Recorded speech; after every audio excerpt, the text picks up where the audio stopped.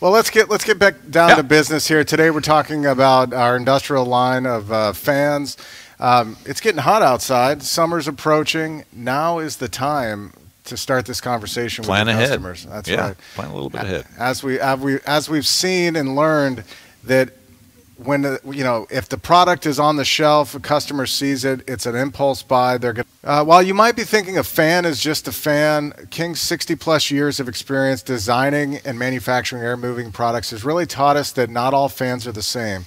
And you might see lower priced product out there. There are a lot of lower priced products, and they're very cheap and inexpensive, and they are, are not the quality that we can provide. Yeah, they're intended for general purpose and they're available in the market and they look very similar, but there are major differences between how they're made and how they perform and how it compares against our products. The main differences really comes down to being driven by cost. So they'll use lower priced motors, the sheet metal's thinner, and I think you mentioned that a lot of times they're used for one season and Yeah, yeah. A lot of times they work one season, they're dead. So uh, these are made to last for a few years. So Yep. I mean, how hard you beat on them. So unlike those, those are used in homes and light duty applications. When we were designing our product line, we focused on the quality of the components and the durability of all the construction. So we chose the materials, and the components, and construction methods that really will stand the, stand up to the test of time, and they're top of the class. The industrial grade fans, they're used for ventilation, air circulation, and dry out applications.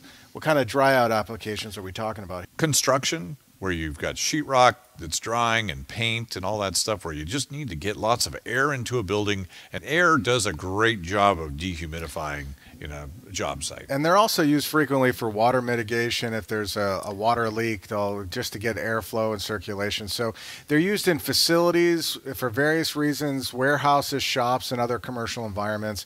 And because they're designed for their ruggedness and durability, they last a long time and can be used for many seasons. Yep, Going from job site to job site, and it's got all that protection on it and the handles and everything. So Yeah, better great. quality, long life motors. We put welding at the seams, so they're very durable. The the sheet metal is going to stay together. Heavy gauge steel, metal construction. The grill. I think you had said you were impressed with. Yeah, the spacing is really tight on these, so that keeps the uh, keeps all the debris and fingers out of there. Yep. You're not always comparing apples to apples when you say, "Hey, we're quoting against a 30-inch pedestal fan." You want to make sure that those specs line up so that you can justify what you're trying to sell. Just to clarify a bit, the direct drive, the fan blade's connected directly to the fan. Yeah. So you don't have any any moving uh, parts. uh, I mean, that, that you have to maintain. Right, you don't have to adjust a belt or anything. So, that that is a direct drive. It's maintenance free. So the belt drive, the, the, the motor is actually offset from the fan blade, and there's a, a almost like a, a serpentine belt in a car Yep. that might have to be adjusted once a year or so Yep. to make sure it's in the right tolerance. Probably once a year you may have to tighten that up. All right, so that's the drum fan, and then you go up to the pedestal fan, and the advantage of that is it can be moved around and, and it's raised up higher, um, so you can really direct it, and it's out of the way a bit. Yep. Uh, you can cover multiple people at the same time, say on a, a assembly line or something. Okay, you- and then and all sharing a fan.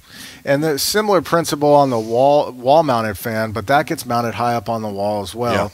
And and one thing I wanted to it's important to note is that on both the pedestal fan and the wall fans is they're rated for wet locations. So uh, th- it's all totally enclosed, gasketed, and it can be left out in the rain, and it's not going to damage the product. And they both have an os- that oscillating feature you mentioned, which is nice. Not all pedestal and wall fans will oscillate, so you have the, the ability to do it fixed on one location, or it can oscillate 180 degrees.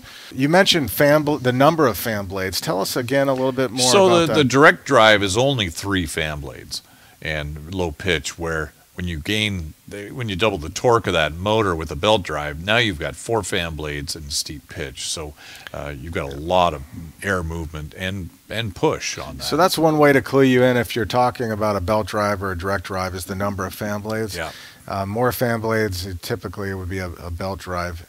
Belt and you can get really good compression putting it in a doorway the belt driven unit should really be able to push and drive the Yeah, I remember you set one out here in the building, and you were able to we sucked pretty much everything out in the parking lot in the pretty under quickly. the yeah. carpet Let's say you don't want full power.